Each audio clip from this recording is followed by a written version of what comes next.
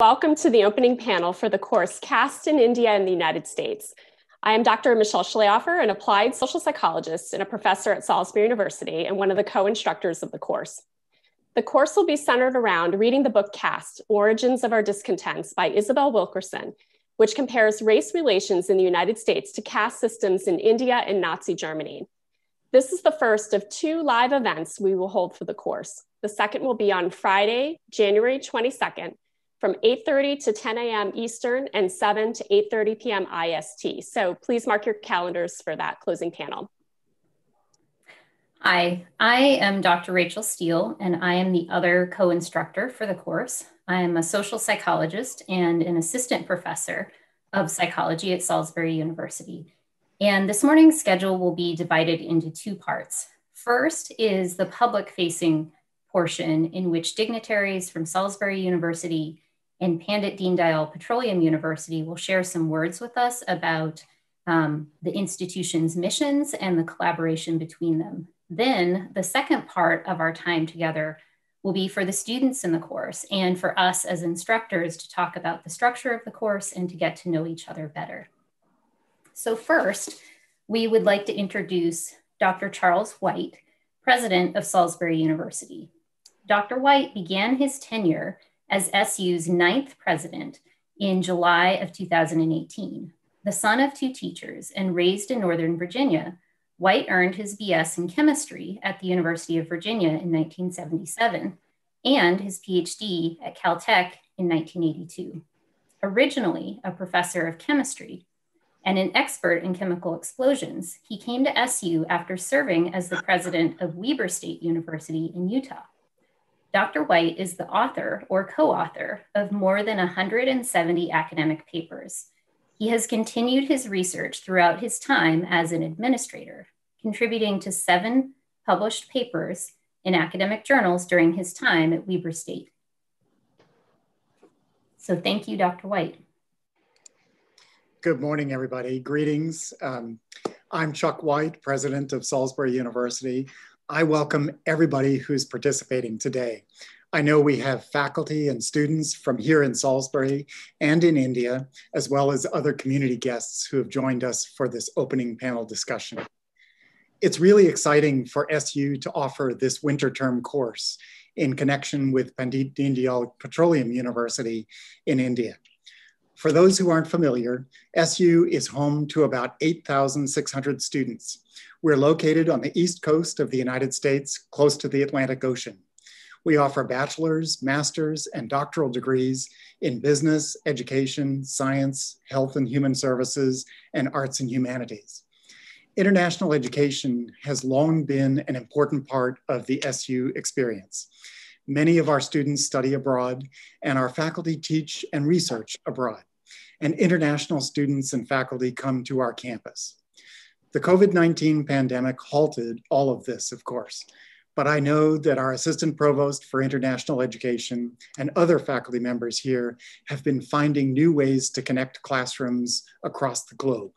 We want to support the exchange of ideas and perspectives across borders, even without physical travel.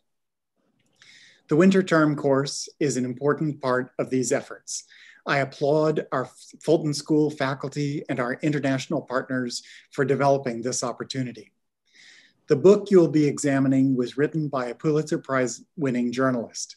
It's a very timely examination of race and racism as a caste system in the United States. And it draws parallels to other caste systems, including in India. One New York Times reviewer called the book an extraordinary document with the keynote nonfiction book of the American century thus far, and one of the most powerful nonfiction books he had ever encountered. I look forward to reading more of, it, more of it along with you. I also look forward to future exchanges and partnerships between our two universities. Hopefully, this is just the beginning of our collaboration. Thank you all for being here. I hope your discussions this month are enlightening. Thank you. Thank you, Dr. White. We will next be hearing from Dr. Sundar Manoharan, Director General at Pandit Dayal Petroleum University. A renowned educationist, scientist, and administrator, Dr. Manoharan obtained his doctoral degree from Indian Institute of Science, Bangalore in 1991. He has over 30 years of extensive experience in teaching and research in the area of material science and nanotechnology. He has more than 120 research publications.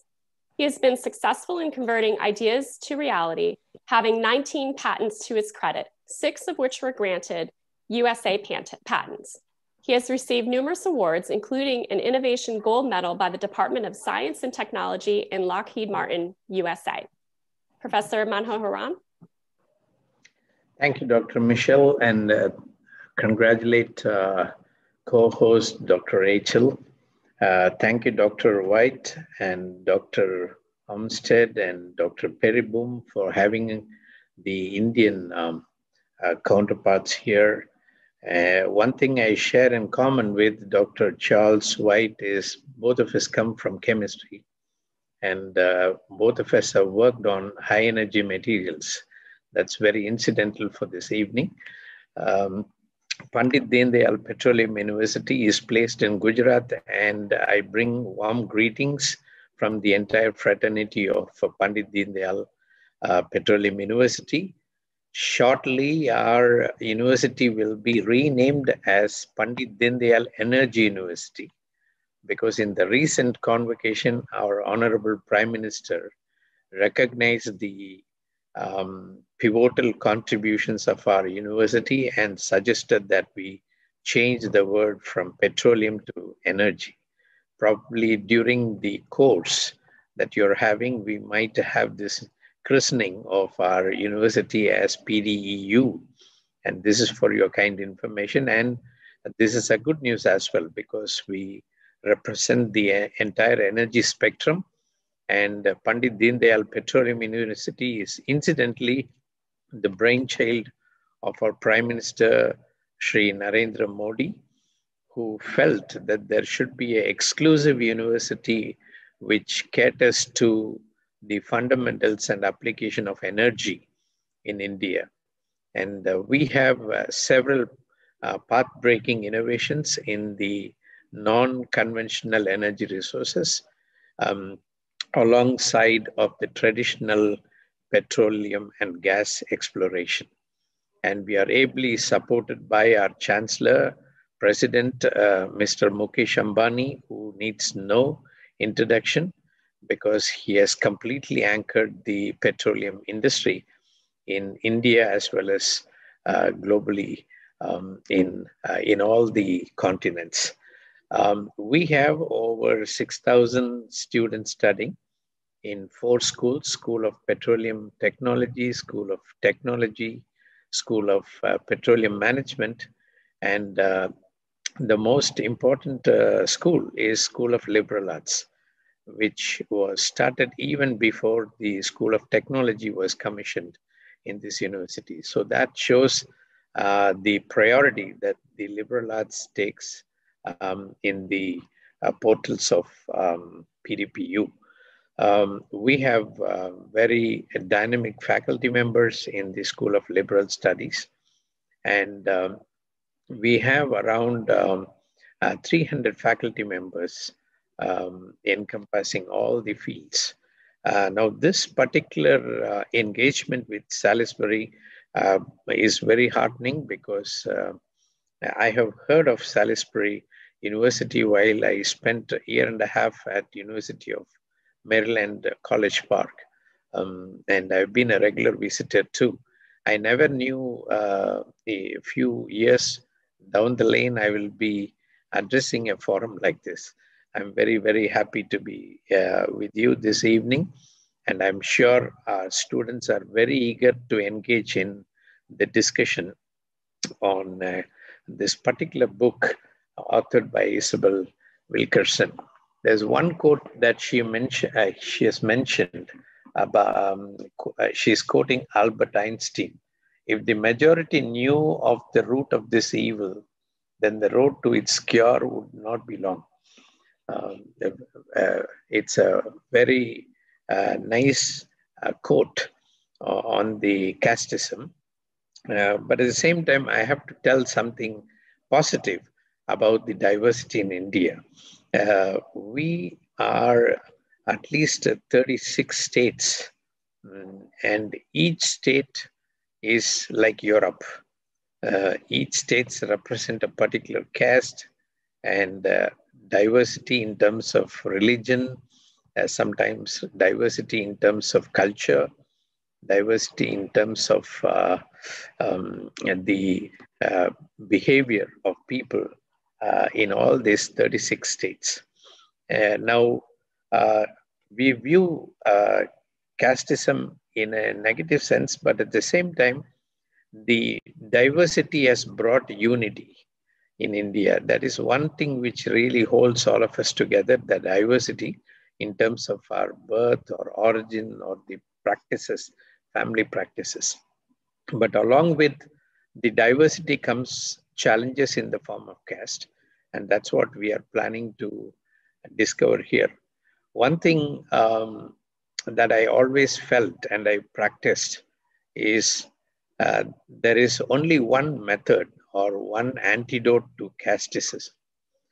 The best antidote is to live a life where you appreciate diversity yourself. Then you can drive away casteism uh, across the country. There is no way that we can try to bring a global rule to drive away this evil. But uh, it calls for every person to commit, every person to live a life which will uh, shut the doors for casteism in, in our country, in our community. And that's the best way to respond to this bigger evil. So, um, personally, I have been a witness in my own family how my parents parents conducted themselves in the matter concerning caste. They were no respecters of uh, any particular caste, creed, or religion. They were highly neutral. In fact, in our home, in our family, we are multilingual, multicultural, and uh, we have enjoyed this togetherness in a big way. I'm sure this evening, uh, as we set forth our attention on discussion in, on caste in India, I'm sure it's going to bring a lot of uh, eye-opening debates and discussions.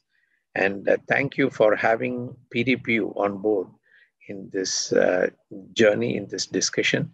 I'm sure you're going to um, really bring a lot of good um, ideas uh, through this forum. And I especially want to recognize the effort made by Dr. Ritu Sharma and Dr. Nigam uh, trying to collaborate with Salisbury and bringing this forum uh, to existence. I really want to appreciate their efforts and I want to congratulate all the faculty members who are going to be part of this discussion. Thank you so much. Thank you, Dr. Manoharan.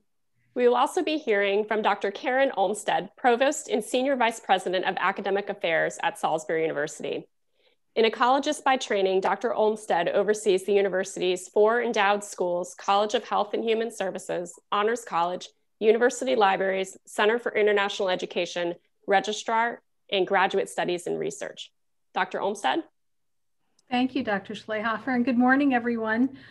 I'm so delighted to join you today for the launch of uh, this formal collaboration between PDEU, I guess I should say now, and Salisbury University. The energy around this collaboration has been strong since it started with um, discussions between Drs. Martin Pereboom and Dr. Ritu Sharma. And I guess it's only appropriate that they're both associated with our schools of liberal arts as the, uh, the hearts of our universities. The American author Mark Twain said that travel is fatal to prejudice, bigotry, and narrow-mindedness. I really believe this is true. And so another sad loss of the pan as a result of the pandemic is the opportunity for us to travel to learn to visit to visit each other and to learn more about our world and the shared human experience so this collaboration, I think, is not only timely because of the focus of the course, the book caste, but also for the opportunity for us to connect to and learn from each other at a time when physical travel isn't possible. But I'd have to say, I imagine on both of our campuses, our ability to do things virtually has been dramatically enhanced over the past year. And um, so I'm so just so delighted this morning to see everyone um, uh, even though we're so far apart. I smiled when I looked at your website last week, and I have to agree that our campuses are not only the best places to study, but also the safest. So I wish you the best for the upcoming academic year. I'd like to thank Drs. Uh, and Steele and others, the students and faculty that are involved in this course, and anticipate that Isabel Wilkerson, the author of Caste, would be very excited to hear about this collaboration given the focus of her book. In Caste, Ms. Wilkerson says that we need a new framework for understanding the divisions in society and how we got where we are. I can't think of a better way to build this framework than to not only reach across academic disciplines, but to also to reach across universities, cultures, and countries to better understand the drivers of social constructs and societal challenges. And that's exactly what you're going to do here. So I look forward to coming back on the 22nd and uh, hearing the discussion at that time as well. Universities like ours provide critical forums for education, discussion, and action. As Nelson Mandela said, education is the most powerful weapon which you can use to change the world. I look forward to continued partnership between our campuses, whether in courses like this with virtual meetings or through bilateral exchanges of students and faculty, um, perhaps through shared research projects or other collaborations across any number of disciplines. Please accept my best wishes for this course. I look forward to hearing all about it and for the uh, 2021 new year. Thank you. Thank you, Dr. Olmsted. Um, now we will be hearing from Professor Nigam Dave, who is the director of the School of Liberal Studies at Pandit Deendayal Petroleum University. Um, his specialty is contemporary Indian fiction, um, and he has held um, many academic and administrative positions at PDPU. Um, so thank you for coming to share with us today. Hello, everybody. It's uh, wonderful wonderful to meet our partners from Salisbury University online. Uh, and uh, the topic that PDPU students are going to engage in about caste, the lies that divide us and separate us. They say God created human beings and human beings created differences. So without uh, talking much about the course that the students, of course, are going to engross in, I have a very small poem written by uh, Indian Tamil poet Sundara Ramaswamy, which pretty highlights the topic that everybody is going to discuss. The title of the poem is Who Are You? The poet is directly asking all the human beings this question. I read out that short poem to you all dedicated to this course and uh, our partners, Salisbury University and PDPU. The poet is asking, Who are you? Are you really a human being? In that case, what is your hometown? Your language, your caste, caste subgroup, religious subsect, subdivisions of these subdivisions? Right. What is your height in centimeters? What color are you? What color are your eyes? Are you pink, yellow, black, or well dusted coffee? Tell me in detail. Tell it precisely. What observance do you keep? What rituals do you follow? Are you veg or non veg? What are the differences between your God and my God? Tell us each thing. Tell it precisely. Do you bury your dead or do you cremate? Right. Do you have such a thing as guilt? In your places of employment are some higher and some lower? What about your concept of sin? How many cartloads worth is your inferiority complex? May I see your handcuffs? Will you show me the fetters on your ankles? May I see the bandages about your eyes or the muzzle at your mouth? May I measure the depth of this hole in which you have been planted? Who are you? Are you a human being? Aren't you least like a human being? In that case, what is your hometown, your caste? Tell me each thing. Tell me is exactly. I'm very sure that when uh, the teachers from Salisbury University and students from PDPU would get together to discuss this differences of caste, color, race, and other differences, lot of valuable brainstorming would evolve. And I'm sure together we can commit ourselves to the betterment of our society. Thank you very much and look forward to work with Salisbury University. Thank you, Dr. Dave, for sharing that poem. I think that that nicely encapsulates the reasons why we want to do collaborations like this across institutions. So we're, I know uh, Dr. Steele and I are looking forward to learning a lot from PDPU students. Um, and I want to now introduce Dr. Uh, Martin Pereboom from Salisbury University's uh, Dean School, sorry, Dean of the Fulton School of Liberal Arts and Professor, Professor of History, uh, Dr. Pereboom. Good morning, everybody. Uh, I'm so excited to, to be with you this morning. I wish I could take this course, um, but I guess I can't.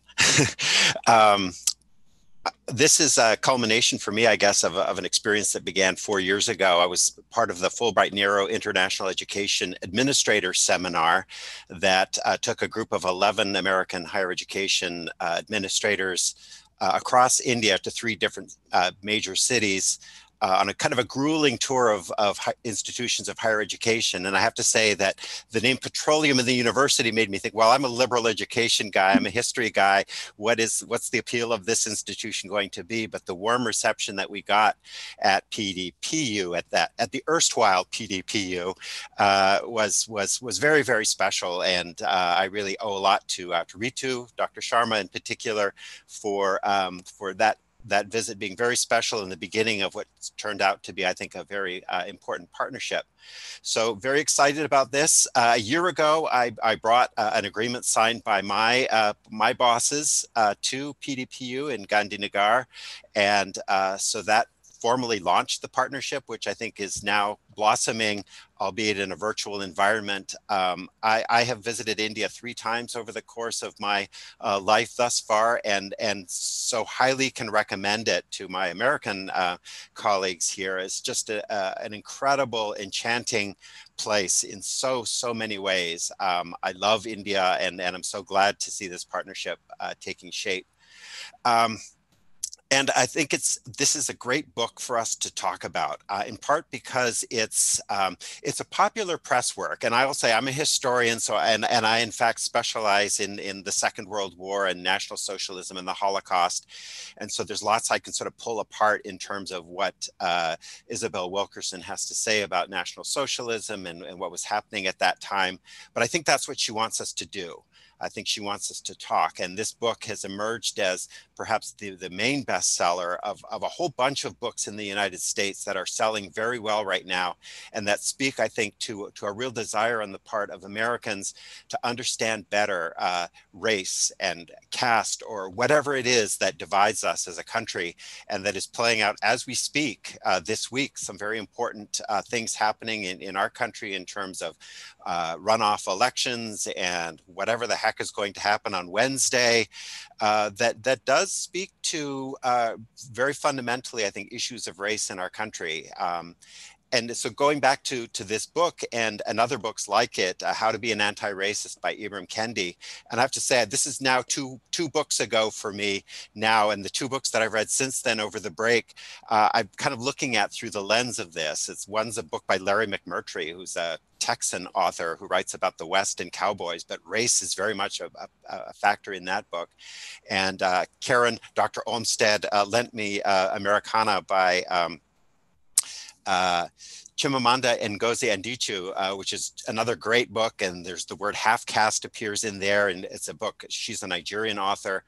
Um, just, just th- these issues are so much around us, and so it's really important, I think, for us to to unpack them, and even if um, I could, uh, you know, argue with with Isabel, and I would love the opportunity to to talk with her, uh, of course, to talk about this book in in great depth. Um, but it is so thought provoking and so discussion provoking. So I think it's a really great grounds for for this course uh, and a course in psychology in particular because it's about attitudes, it's about behavior, it's about perception.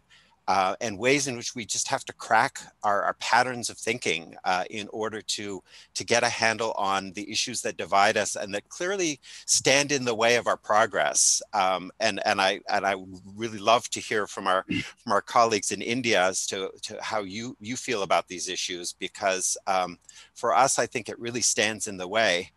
Um, and, and there's just so much more that could be said. I guess I'll just seize on one particular example. Uh, I have to say that my, my wife and my, my two sons were, were sort of the uh, recipients, I guess, of my, my thoughts and questions as I read this book, you know, on walks and dinners over the course of the winter break, um, just because the things that she had to say were so um, worthy of further exploration. And I want to talk a little bit about her being on in first class on an, on an American airline, those examples specifically. And I thought, oh, you could push that a little bit further because, you know, that flight attendant, the racist flight attendant, the black flight attendant, doesn't that speak to the need for liberal education uh, and for uh, us to really attack institutional racism such that workers would be trained to um, uh, workers would be trained to to address and and confront uh, racism when they see it in the workplace.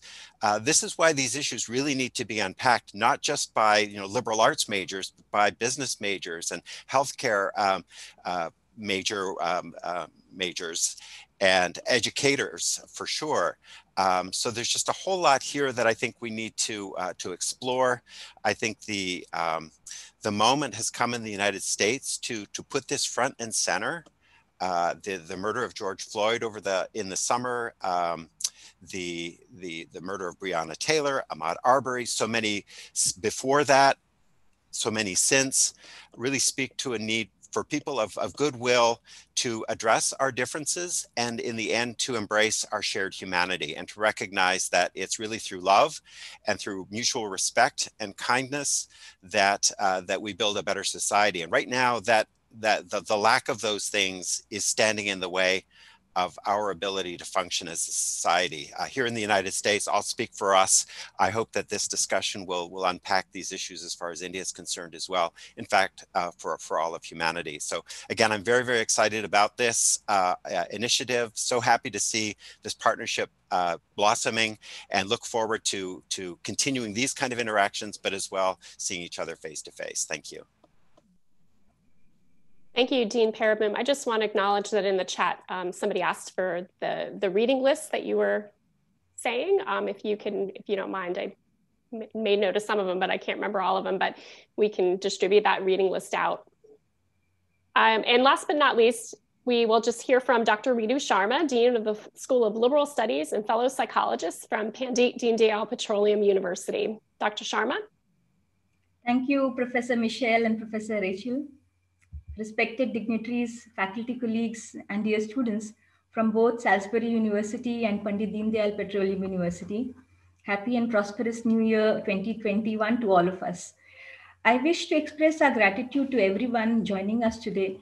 Uh, especially, uh, we are incredibly grateful to Salisbury University President Dr. White, Director General PDPU Professor Manoharan, Salisbury University Provost Dr. Karen, Professor Nigam Dave, Director of SLS, Professor Martin Dean, Salisbury University, for their gracious presence, vision, and leadership. My enormous respect to all. My thank to Professor Egan, Professor Michelle, and Professor Rachel, who have conceptualized this course after a series of meetings and discussions. I thank all for providing PDPU students this opportunity to collaborate and learn.